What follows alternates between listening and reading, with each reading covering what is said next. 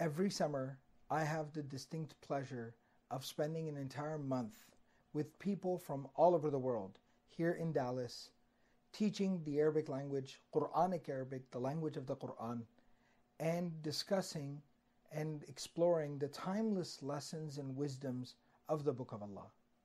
We call this experience Quran Intensive. Please check out bayyinahsummer.com. That's B A Y Y I N A H summer.com to get more information and sign up. I look forward to seeing you here, inshallah, at the Quran Intensive.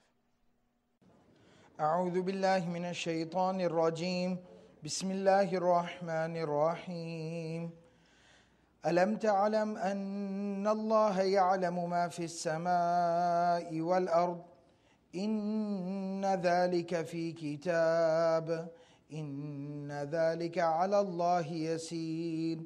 ويعبدون من دون الله ما لم ينزل به سلطانا وما ليس لهم به علم وما للظالمين من نصير.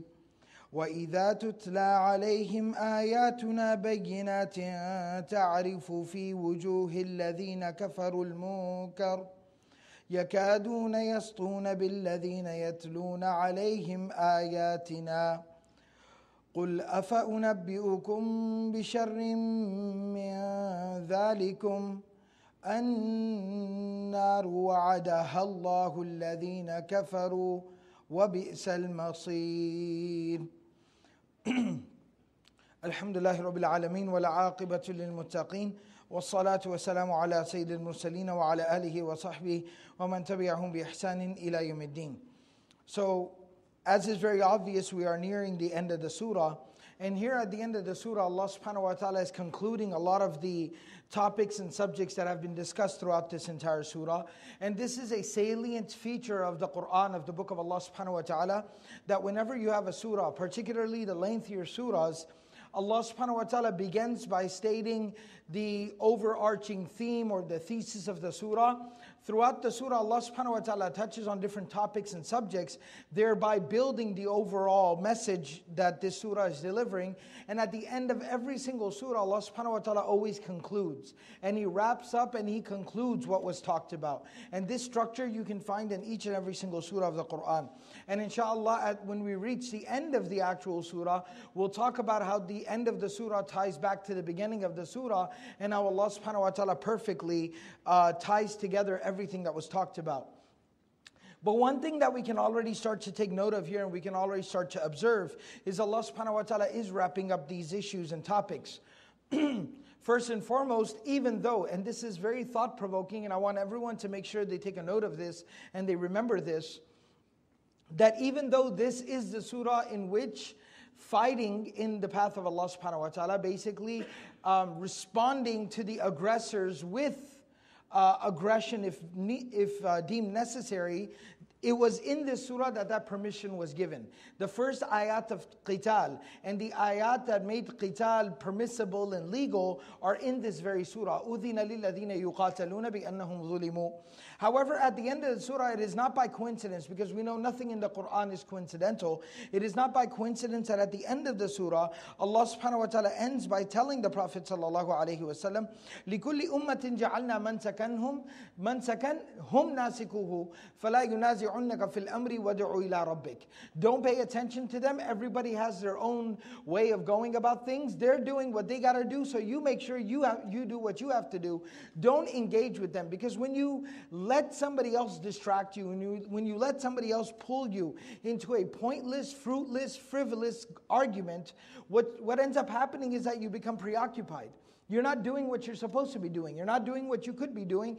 And that's why Allah says, make sure you do your job. وَدْعُوا إِلَىٰ رَبِّكَ You keep calling to your Lord. إِنَّكَ لَعَلَىٰ هُدًى مُسْتَقِيمٍ Because that is the guided way.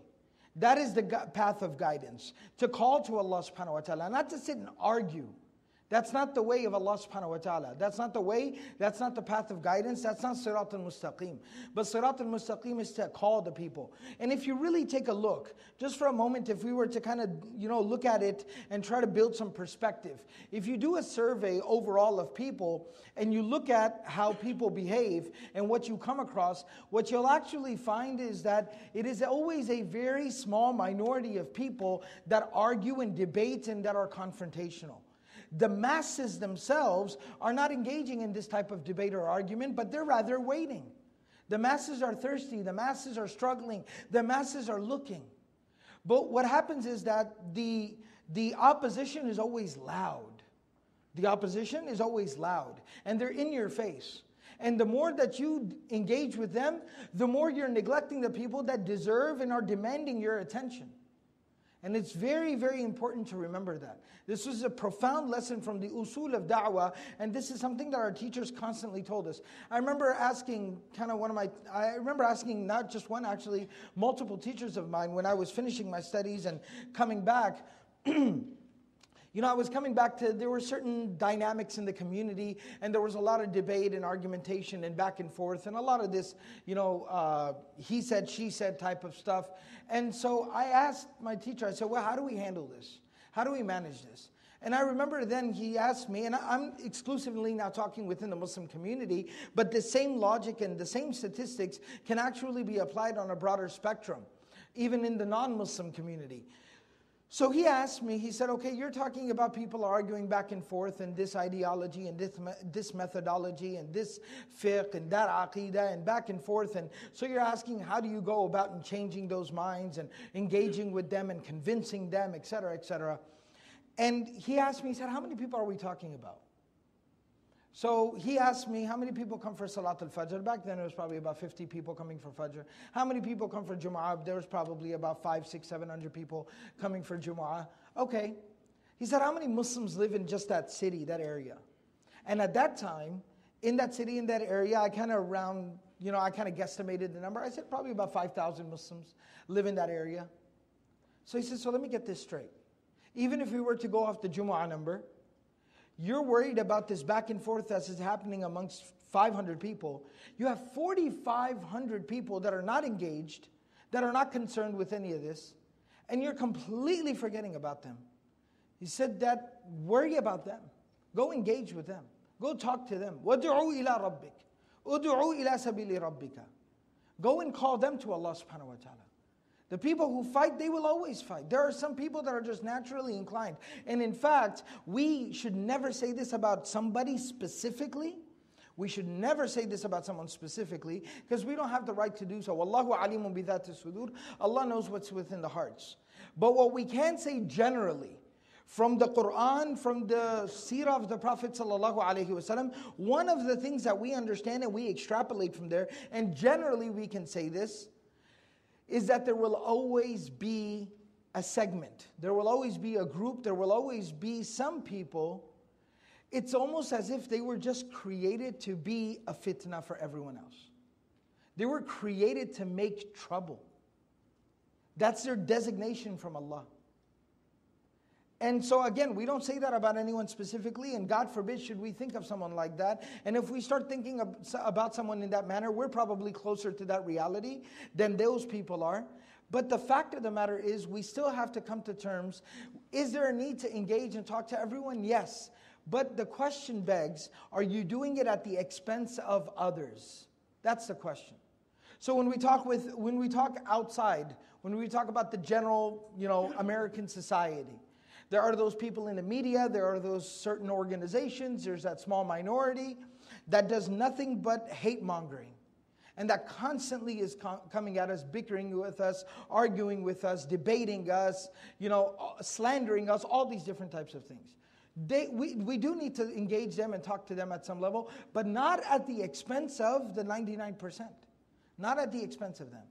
And so this is the reality that Allah subhanahu wa ta'ala gives to the Prophet here, is that you will have the Abdullah bin Ubay bin Sulul, and the Abu Jahl, and the Abu Lahab, and the Umayyah bin Khalaf. There will be these people. And talk to them whenever the opportunity presents itself, no doubt. But make sure that you don't let them occupy you because that's actually a part of their strategy. To busy you so much with the back and forth that you're no longer addressing the masses. It's, I mean, we have to think about our da'wah as well. Do we spend more time answering criticisms or actually delivering a message? Are we more reactionary or are we more proactive? We have to think about this. We're constantly like answering misconceptions. But what happened to just presenting Allah to the people? Talking to people about Allah. That's what the Prophet ﷺ did. And he answered questions when they were presented to him, but the majority of his time was occupied by talking about Allah. And so that's what Allah tells the Prophet ﷺ. وَإِن جَادَلُوكَ فَقُلِ اللَّهُ أَعْلَمُ بِمَا تَعْمَلُونَ اللَّهُ يَحْكُمُ بَيْنَكُمْ يَوْمَ الْقِيَامَةِ فِي مَا كُنْتُمْ فِيهِ تَخْتَلِفُونَ Now Allah subhanahu wa ta'ala tells, it's basically continuing on. So the reason why I kind of started back there, because this continue on, continues on from there. Ayah number 70 is a continuation. So Allah said that Allah, uh, in ayah number 68, that if they do argue and fight with you, then say Allah knows best what you are doing. And in ayah number 69, Allah will decide amongst all of you on the day of resurrection about what you argue and differ and, and disagree about. Now, Allah subhanahu wa ta'ala in ayah number 70, and see even the even the, the way that Allah addresses this, it, it teaches us a lesson. Immediately, what does Allah say? Alam ta'alam anna Allah ya'lamu ma fi samai wal ard. Haven't you realized? Ilm the word ilm is used. Haven't you realized? Haven't you understood? Don't you understand? Don't you realize? Don't you know? أَنَّ اللَّهَ يَعْلَمُ And this type of su'al, of course, is like a rhetorical question. And yes, it's addressing the Prophet ﷺ, but through the Prophet ﷺ, it's addressing all of humanity. And this instruction is being given to the Prophet ﷺ, like you say this to them.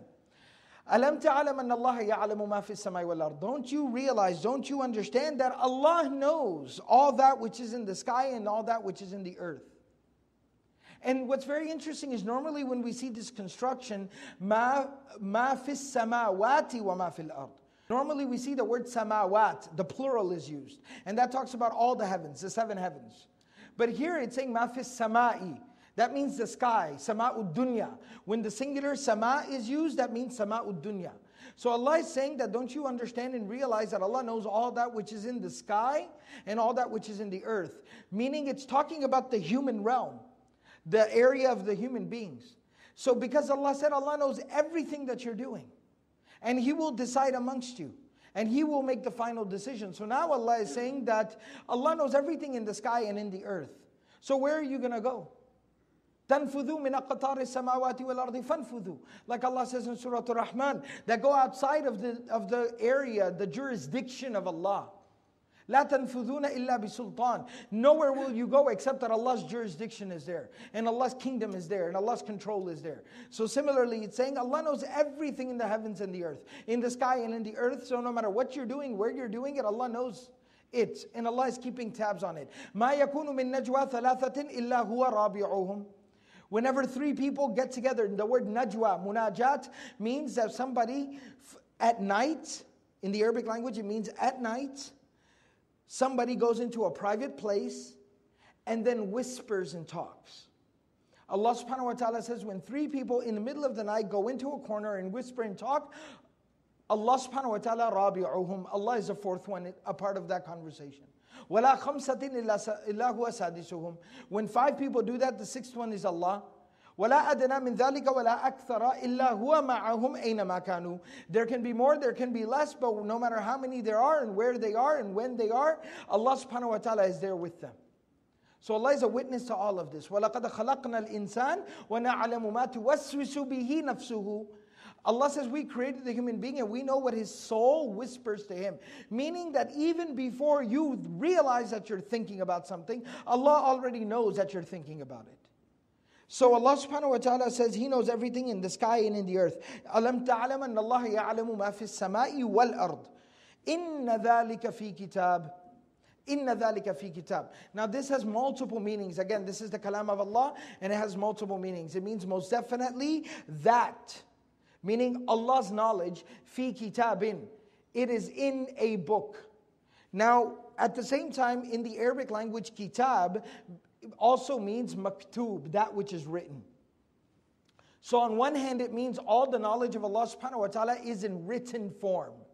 And we have a hadith that tell us this. There's a hadith in the Sahih of Imam Muslim narrated by Abdullah bin Amr bin al-As radiyallahu ta'ala anhuma that the Prophet of Allah sallallahu alayhi wa sallam said, إِنَّ اللَّهَ قَدَّرَ مَقَادِيرَ الْخَلَائِقِ قَبْلَ خَلْقِ السَّمَاوَاتِ وَالْأَرْضِ بِخَمْسِينَ أَلْفَ سَنَةٍ That Allah subhanahu wa ta'ala predestined the destiny of all the creation before the creating of the heavens and the earth by 50,000 years. 50,000 years before Allah created this entire cone, Allah subhanahu wa ta'ala had already written down what would transpire with all the creation of Allah. وَكَانَ عَرْشُهُ عَلَى الْمَاءِ And his arsh at that time was on top of the water. In another hadith that is narrated by a jama'atun min sahaba the, a whole group of sahaba narrate this particular hadith, and it is found in dozens of books of a hadith that the Prophet ﷺ said, "Awwal ma khalaq Allahu al qalam." The first thing that Allah subhanahu wa ta'ala created was the pen. قال له اكتب. Allah subhanahu wa ta'ala told the pen, write. قال وما أكتب. The pen asked, what should I write? قال اكتب ما هو كائن write what will happen. فَجَرَى الْقَلَمُ بِمَا هُوَ كَائِنٌ إِلَى يَوْمِ الْقِيَامَةِ And then the pen started writing and, uh, and, and kept on writing everything that would transpire until the day of resurrection. And that's what the Prophet ﷺ refers to when he says, رُفِعَتِ الْأَقْلَامُ وَجَفَّتِ السُّحُفِ The pens have lifted, the pages have dried. So everything, all the knowledge of Allah subhanahu wa ta'ala is actually in written form. And that is a part of our aqidah, a part of our belief. The Quran and the Sunnah talks about this. So that's one general meaning of it. And it's to give confidence. It's to give confidence that not only does Allah know, but Allah put it into written form. Like that's what we believe in. But there is another meaning to this as well that fits into the context. Allah subhanahu wa ta'ala is saying, Inna dhalika fi kitab. Most definitely that. Now that could also not only be referring to what Allah, Allah's knowledge, but it could also be referring to ma ta'malun, what you all are doing. So everything that all of you are doing is in the book. It's in a book. What book is it talking about? The book of deeds. Where Allah subhanahu wa ta'ala tells us, Kiraman katibina ya'lamuna amata taf'alun. You have the noble scribes, the angels of Allah subhanahu wa ta'ala, that are writing down everything that the people do. When a person will be brought on the day of judgment, Allah subhanahu wa ta'ala will tell the angels, put his book in front of him. First, we know the Quran says that the book will be handed to the person, and that will be sign of their success or failure. فَأَمَّا مَنْ أُوتِيَ كِتَابَهُ بِيَمِينِهِ فَيَقُولُ هَاؤُمْ اقْرَؤُوا كِتَابِيَهِ He'll say, Look, look, read my book. And then there will be those people that will be handed their book of deeds in the left hand. فَيَقُولُ يَا لَيْتَنِي لَمْ أُوتَ كِتَابِيَهِ I wish I was never given my book. So there will be people that will be given their book in their right hand and people that will be given their book in their left hand. All right? And so Allah subhanahu once that book is given to that person, Allah will command that person, اقرأ كتابك, read your book. كفى بنفسك اليوم عليك حسيبا. This will suffice for your accounting today. You tell me what I should do with you. فترى المجرمين مشفقين مما فيه You'll see the criminals, they'll be very afraid of what's in that book. يَقُولُونَ يَا وَيْلَتَنَا They'll curse themselves. مَا لِهَذَا الْكِتَابِ What's wrong with this book? لَا يُغَادِرُ صَغِيرًا وَلَا كَبِيرًا إِلَّا أَحْصَاهَا It does not leave something small or something big, except that it encompasses everything. وَوَجَدُوا مَا عَمِلُوا حَاضِرًا They will find everything that they have done present in that book. وَلَا يَظْلِمُ رَبُّكَ أَحَدًا Your Lord does not wrong anyone in the least bit. So that's the book that it's talking about. And Allah subhanahu wa ta'ala says, وَكُلَّ شَيْءٍ أَحْصَيْنَاهُ فِي إِمَامٍ مُبِينٍ and each and every single thing, Allah says, we are compiling it. Ahsaynahu, we have compiled it. Fi Imam Mubin in a very clear book. And Allah calls the book Imam. Because in another place in the Quran, Allah says, يَوْمَ نَدْعُو كُلَّ أُنَاسٍ بِإِمَامِهِمْ On that day, each and every single group of people will be called by their Imam. Not only just by their leader, but each and every single soul will follow their book meaning their deeds will lead them either to the mercy of Allah subhanahu wa ta'ala or to the wrath and the anger of Allah. And so this is that book that it's talking about. Inna dhalika fi kitab. Don't you worry. Now Allah is telling the believers, everything is in the book. Your suffering, your persecution, the torture that you've been put through, your patience, your diligence, your devotion, your dedication, your commitment, everything is in the book. Your faith is written down in the book that you were faithful. When the difficult, most difficult of circumstances came, you remained faithful. That's in the book. But on the flip side, it's telling the others that everything is in the book. Your disbelief, your shirk, your kufr, your hatred, your violence, your animosity, your enmity, your sinfulness, your wretchedness, everything is written in the book. Your dhulm, your oppression of these people is written in the book. Inna dhalika fi kitab. And then Allah says something truly profound. Inna dhalika ala Allahi yasir. And this is why the mufassirun say that this is the meaning within the context of the ayat. Let me first tell you what it literally means. Inna dhalika, most definitely that, ala Allahi, upon Allah, yasirun. It is very simple, very easy easy. Yasir means something very little. So when you're talking about the quantity of something, you would say shay'un yasirun. It's just a little bit. Like if you had a little bit of food, ta'amun yasir. You just had a little bit of food. But similarly, when something is also very easy, it's also called yasir. Not very difficult, very little, very easy to manage. Not much at all. And so it's saying, Inna dhalika ala Allahi yasirun. That most definitely that upon Allah is very easy. Meaning it is very, very easy for Allah subhanahu wa ta'ala. What, so now what does it mean that is very easy for Allah? Writing down everything that Allah subhanahu wa ta'ala knows? Because we know the knowledge of Allah is limited, so how could it be written down? Inna dhalika ala Allahi yasirun, which is basically Allah's way of saying, you worry about you. Don't worry about it right? And there have been groups in our, uh, in our history who did worry about it a little too much. And you know what ended up happening? They ended up outside the fold of Islam. They ended up doing a number on themselves. So, inna dhalika ala Allahi yasir. Don't worry about Allah. You don't worry about Allah. You worry about yourself. The second meaning of inna dhalika ala Allahi yasir in this context is that if what every single person does, good or bad, is written down and recorded, I mean, how does that even work? How many people have there been? If there's almost 2 billion people in the world today, then how many people have there been throughout time? And then all their deeds written down? How does that even work? Ala Allahi. You think that's difficult for Allah? This is very easy. And that's why in the construction of the ayah, I point this out every single time we come across it because it's in the Quran and we have to make note of it. Normal grammatical structure would dictate that the sentence, that a sentence would be structured, Inna dhalika yasirun ala Allahi. Inna dhalika yasirun ala Allahi. But that's not what Allah said. Allah said, Inna dhalika ala Allahi yasirun. This is called at-taqdeem wa ta'khir. This is abnormal sentence structure. And when you create abnormal sentence structure, the primary benefit of it is exclusivity, ikhtisas. So now the meaning of only is added into it. That most definitely that is very easy only for Allah. I mean, you can't even comprehend it.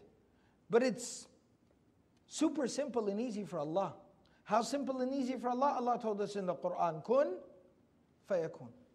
إذا أراد شيئا when Allah wants something to be kun fayakun. He says be and it is. Now Allah subhanahu wa ta'ala turning his attention to these wretched people. Allah says وَيَعْبُدُونَ Ayah number 71 وَيَعْبُدُونَ And they continue to worship. من دون الله Aside from Allah. ما لم ينزل به سلطانا All right, I want you to appreciate now the structure especially some most of y'all should be able to comprehend a lot of this ma lam yunazzil bihi sultanan that which he has not sent down in regards to it any proof sultan is a word which basically means authority but it's used synonymous with proof. It's used in the meaning of proof sometimes. But what type of proof? It means very, very authoritative, conclusive, absolute proof. Proof after which the conversation is over. Proof after which the conversation is over. There is no conversation after this proof. So, وَيَعْبُدُونَ They continue. In spite of all of this, they continue to worship other than Allah, aside from Allah, that which Allah did not reveal, that which Allah did not send down in regards to it, any type, sultanan, it's in the common form, any type of absolute, authoritative, or conclusive proof. Wama, and that which laysa lahum bihi ilmun, and that which they do not have any knowledge in regards to. Ma laysa lahum they do not have bihi in regards to it ilmun. So what, what Allah is saying here is وَيَعْبُدُونَ They continue to worship other than Allah. وَيَعْبُدُونَ مِن دُونِ اللَّهِ They worship other than Allah. We know that much. What do they worship other than Allah? Ma. This ma mawsula, basically the sila and the mawsul is functioning as the maf'ul here. It is the object. This is the object. Malam Yunazil bi Sultan is the object. Aside from Allah, they are worshipping that which Allah did not send down any proof, any authoritative, absolute proof in regards to. Meaning, what they worship other than Allah, there is nothing, there is no, there is no dalail naqliya. There is no text, there is no revelation, there is no type of religious proof that tells them to worship this. Then there is a second object of the same action. And they worship other than Allah, ma laysa lahum bihi ilmun, that which they don't have any understanding of. Meaning now dalail aqaliyah.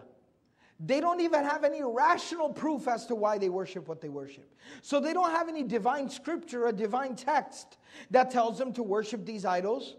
They don't even have any type of logical proof as to why they worship these idols. I don't want to jump the gun over here. I don't want to go too ahead in explaining the illogical nature of shirk because Allah subhanahu wa ta'ala himself in the next ayah, in the next session that we're going to study, ayah number 73, Allah subhanahu wa ta'ala talks about the illogical nature of shirk and I'll talk about it more so there. And of course, whose, whose explanation will be better than Allah subhanahu wa ta'ala himself. But nevertheless, what you can understand over here here is Allah is saying they worship other than Allah something that they don't have any scripture that tells them to worship it, nor do they have any type of logical proof or evidence, anything intellectual that would tell them to worship this thing. وَمَا لِلظَّالِمِينَ مِن نَصِيرٍ and there is no. So now one of the things that we've seen here, and I just want to explain this for anybody who might not be familiar with Arabic grammar, and even our students here for Quran Intensive, this is something we're going to be learning this week, inshallah, is that there are multiple types of ma. We've seen two ma's that come before. Ma lam yunazil bi sultanan, ma laysa lahum bihi ilmun. These are called ma mawsula. It basically uh, is the object of what they're worshiping. It means that which. But now the ma that's used here at the end of the ayah, ma lidhalimina, this is the ma nafiya. This is the ma of negation. And it doesn't just simply mean no. It does not just simply negate. On top of that, what it does, on top of that, what it does is that it is refutation. It is the ma of refutation. So it is negation, but on top of that, it's refutation. What does refutation mean in case that's too big of a word for somebody? What does refutation mean? It, negation would mean no, just negating something. It is not. All right? Refutation means contrary to what you might think, contrary to what you assume, contrary to what you thought. So it's basically negating a false notion or a concept that they had. They assumed something, and Allah is saying it is not as you thought it was. It is not like you assumed it is. Rather, the con- to the contrary, مَا لِلظَّالِمِينَ مِن نَصِيرٍ Al-Zalimin means those who did wrong. And of course, we've talked about the meaning of zulm. Zalam, darkness comes from this word. Shirk is referred to as zulm. Sinning is referred to as zulm. Oppression is zulm. Basically, it means wadu'u shayfi ghayri mahallihi, to misappropriate something, to put something where it does not belong. So all these people that engage in this, this type of evil behavior, min nasirin, they will not have any the min here is for further emphasis. They will not have any. They will not have a single helper, nasir. They will have absolutely no one to help them. They will have absolutely no one to aid them, no one to help them. Why does Allah subhanahu wa ta'ala say this? You would kind of assume that that's understood, but Allah subhanahu wa ta'ala is just, first and foremost, Allah is concluding, really just sealing the deal, saying that not only have you worshipped, have you put your faith in something that does not make any sense, nor was there any instruction to worship it, but on top of that, you've worked yourself into such a corner now where you have no options. You got no outs. If you stick with this, Ya'buduna, if you stick with this and keep going with this, guess what? You're going to end up in a position, end up in a ditch that there is no way out of. You've worked yourself into that corner. The second reason why Allah subhanahu wa ta'ala says this is because specifically at the time of the Prophet sallallahu alaihi wasallam, the nature of the shirk of the people in Mecca was ma na'buduhum illa liyuqarribuna ila Allahi zulfa they said, We don't worship these idols except to bring us closer to Allah. So they believed in Allah, they just believed in these idols as being intercessors or connectors to Allah. And so they said, We will win the favor of Allah by worshiping all these little godlings. They'll bring us closer to the God. And so Allah subhanahu wa ta'ala is saying, You have nobody to help you. You have nobody in your corner. First of all, these shuraka, these things that you worship other than Allah, they have no reality. They have no reality. They are the creation of Allah. Number two, in fact, to further prove the point, there are ayat in the Quran that tell us Allah subhanahu wa ta'ala will bring those things that they used to worship in this dunya. Allah will bring those things forward on the day of judgment and hold them accountable. And they will turn against the people that used to worship them and say, We have absolutely nothing to do with these people. We never told these people to worship us. We take no responsibility for these people. We worry about ourselves. And so they'll be completely abandoned. They'll be left out to dry by the same things that they put their faith in that they worshipped other than Allah. مَا لِلظَّالِمِينَ مِن نَصِيرٍ And then Allah subhanahu wa ta'ala tells us that Allah subhanahu wa ta'ala tells us something to be very careful about. You know, when you're wrong and somebody points out to you that you're wrong, how do you handle that? How do you deal with that? It tells you a lot about yourself. It tells you, it's a litmus test. It tells you a lot about yourself. When you're wrong and then you're told you're wrong, it's pointed out to you that you are wrong. How do you handle it? Allah subhanahu wa ta'ala shows the quality of these people. وَإِذَا تُتْلَى عَلَيْهِمْ آيَاتُنَا بَيِّنَاتٍ وَإِذَا تُتْلَى This is the passive form. That when it is recited upon them, when our ayat, ayatuna bayinatin, our v- signs are very clearly, very lucidly, very clearly, very explicitly recited upon them. When our signs are very clearly laid out for them. And the reason why it says it in the passive is Allah is saying it doesn't matter who does it.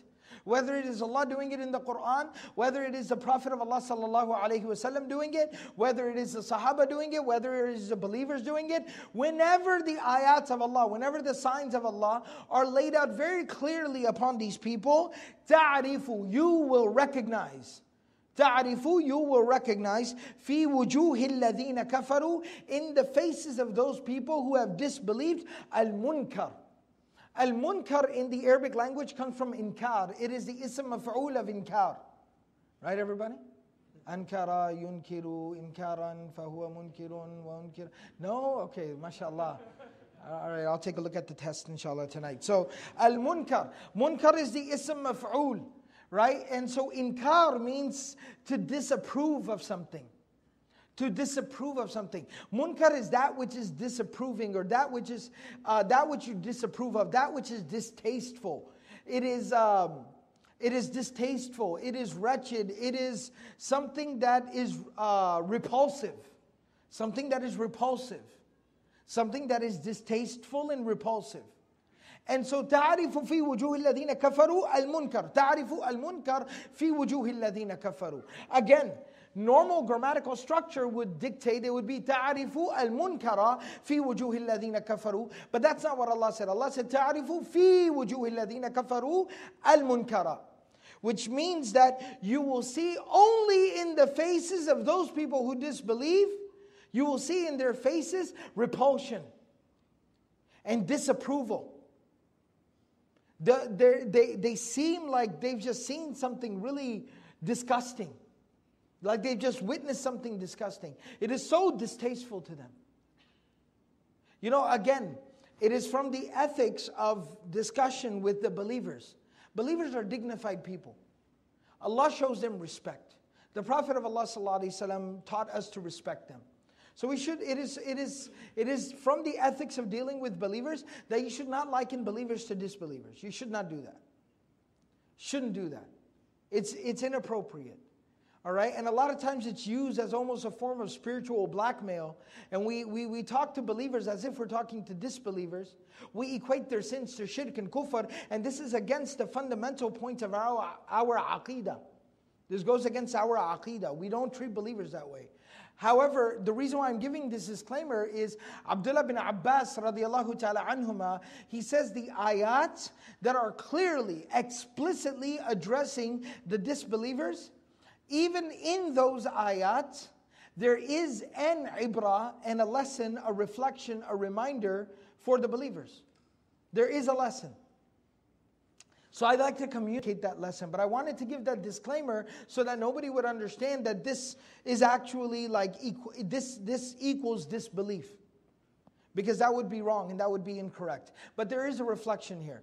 So Allah is telling the Prophet, ﷺ, Allah is telling all of us in the Quran that when the ayat are clearly laid out upon these people, for the sake of these people, you will recognize, you will recognize, specifically in the faces of those people who disbelieved, you'll recognize disapproval and disgust and repulsion.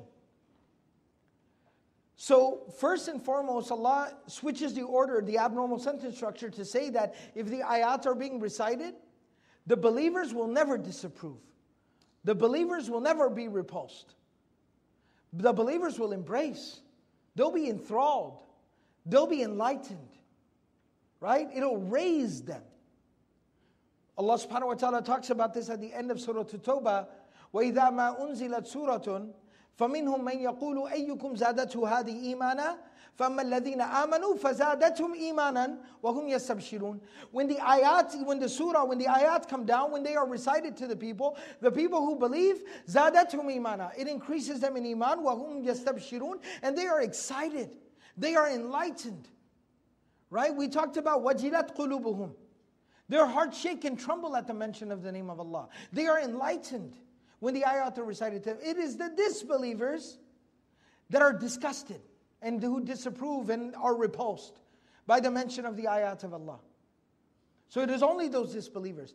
But going to Abdullah bin Abbas radiallahu ta'ala anhuma's fa- uh, uh, point, what we need to think about is when the name of Allah is mentioned in our presence, when the Quran is recited, when, uh, when something from the guidance of Allah and His Messenger wasallam is presented to us, what is our reaction to it? Are we bothered? Are we disturbed? Are we agitated? Are we enlightened? Do we approve? Do we engage? Do we take it in? We, eh, nobody should judge anyone else. Each and every single person should think for themselves. And if I do find it cumbersome and bothersome, and it does kind of agitate and irritate me a little bit sometimes, while that might not be, I, can, I, I, I don't have to, you know, be fearful that I'm now a kafir. But one thing that it does tell me is that I am starting to exhibit some of the symptoms of kufr. I'm starting to exhibit some of the symptoms of kufr. I'm in the periphery. I'm near enough to start to kind of feel the heat. And so, what, what, the, what the intelligent person would do is let me take a couple of steps back right now. Let me reverse this course very, very quickly. So وإذا تتلى عليهم آياتنا بينات تعرف في وجوه الذين كفروا المنكر. Allah says يكادون how strong is their hate and their disbelief? Yakaduna, they are very close. Yastuna, that they would attack. Sata, sata yastu, yastuna, it means to lunge, to attack, to pounce. They are very close to attacking. بِالَّذِينَ يَتْلُونَ عَلَيْهِمْ آيَاتِنَا They are very close to attacking those people who are reciting our ayat upon them who recite our ayat to them. They're very close to attacking them. And this again is very relevant at that time of the Prophet ﷺ where the believers were attacked. And even in our times, it starts to become very prudent and pertinent. You know, constantly we hear about people due to just even living.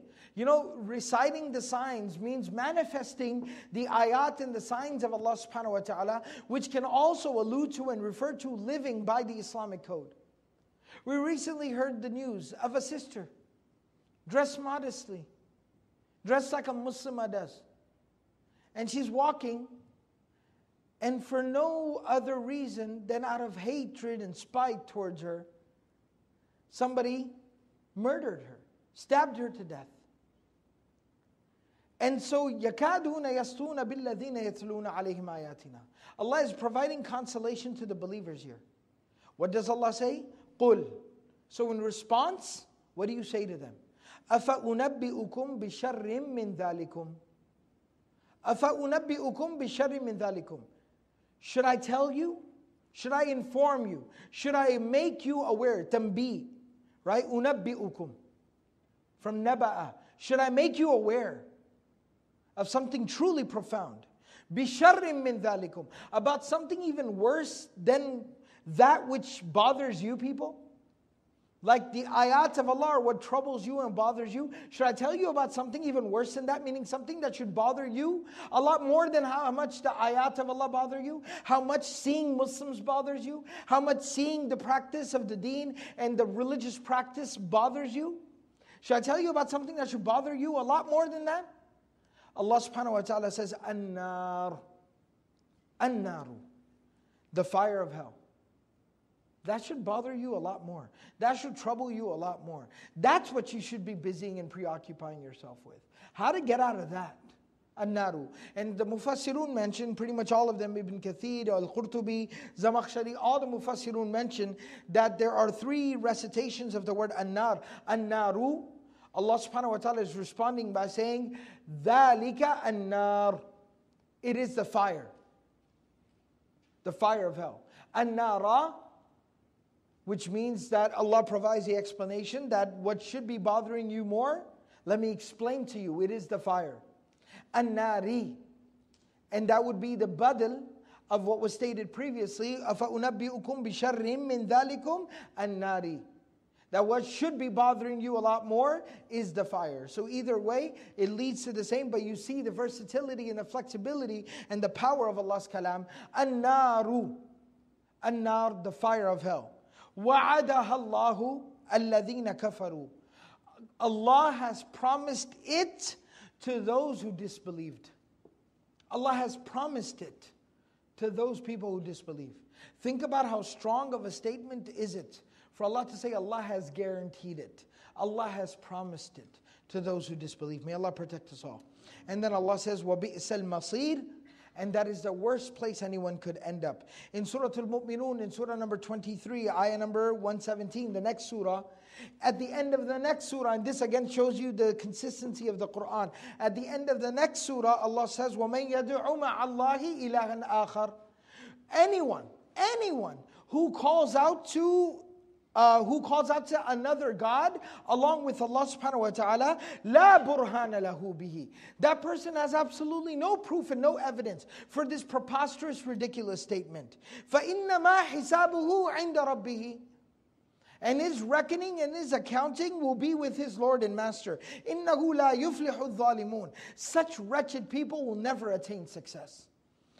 Uh, and finally here, one of the things I wanted to mention about the balagha of this ayah and just a little point about Quranic eloquence that's very interesting is that uh, in a similar statement in another place, which is found in Surah Al-Ma'idah, ayah number 60. Allah says, قُلْ هَلْ أُنَبِّئُكُمْ بِشَرٍّ مِّن ذَلِكَ قُلْ هَلْ أُنَبِّئُكُمْ بِشَرٍّ مِّن ذَلِكَ Say, should I not tell you about something worse than that? Here Allah says, قُلْ أَفَأُنَبِّئُكُمْ بِشَرٍّ مِّن ذَلِكُمْ Over there he says min dhalika, here he says min dhalikum. In a very, pretty much the same structure. Over there he says dhalika, over here he says dhalikum. Why? Why does he say it both ways? Well, the basic meaning is that they both mean basically the same thing. Potato, potato, tomato, tomato. Of course, we know that's not how it works in the kalam of Allah. Everything is specific and precise. Why did Allah say dhalika there? Why did He say dhalikum here? Well, there's a rule in the Arabic language, بِزِيَادَةِ الْمَبْنَى يَزِيدُ الْمَعْنَى When you increase the construction of the word, you increase the meaning of the word. Dhalika is those three letters you see there, dhalika. Over here, Allah says, dhalikum. Did the word get bigger? That means the meaning got bigger. You want to know something very interesting? In, uh, in the ayah of Surah Al-Ma'idah, when Allah says, min dhalika, what group is he talking to? Mathubatan indallah, the reward that they will find from Allah subhanahu wa ta'ala. Man, they are those people, la'anahu Allahu, that Allah has cursed them, wa ghadiba alayhi, and he is angry with them. Wa ja'ala minhum al-qiradata wal-khanazira wa abd al-taghut. And Allah turned them into monkeys and swine. He turned them into monkeys and pigs. Here Allah says, النار وعدها الله الذين كفروا بشر من ذلكم النار وعدها الله الذين كفروا So over there Allah says ذلك but he's speaking about the people, the specific group of people at a particular point, time, and place in history that Allah subhanahu wa ta'ala turned into monkeys and pigs. Here Allah is talking about anyone and everyone who disbelieves. Which group is bigger? The people that Allah turned into p- pigs and monkeys or the people that disbelieve? Which group in quantity is bigger? The people who disbelieve. Therefore, Allah uses the bigger word for them, He uses the word dhalikum for them. And he used the word dhalika for the smaller group of people, he used the word dhalikum for the larger group of people. How precise and how specific is Allah subhanahu wa ta'ala's kalam? All right, so we end here, we conclude here, where Allah subhanahu wa ta'ala says, وَبِئْسَ الْمَصِيرِ That is the worst place anyone could end up. And in the next ayah, in the next session, inshallah, Allah subhanahu wa ta'ala will be talking about the, the fallacy of, uh, of shirk and associating partners with Allah subhanahu wa ta'ala. May Allah subhanahu wa ta'ala give us all the ability to practice everything that was said and heard. Um, you know, when uh, over the course of a month, obviously, it's... Um, we have a lot of people and everybody gets very close and uh, you know being away for, for this much time a lot of times there's different circumstances and different situations that come across and come upon people and their loved ones and their family members. So a couple of announcements i just wanted to make in regards to requesting dua.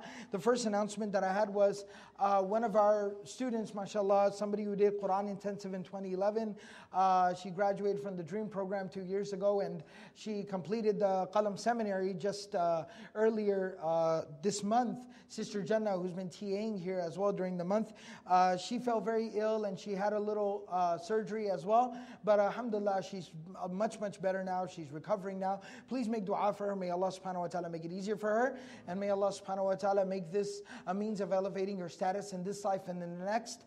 And secondly, one of our uh, students here at Quran Intensive, Brother Adil, his uncle was admitted to the hospital yesterday and also underwent a surgery. May Allah subhanahu wa ta'ala grant him a complete and quick recovery. Amin ya Rabbil Alameen. Jazakumullah khair. Assalamu alaikum.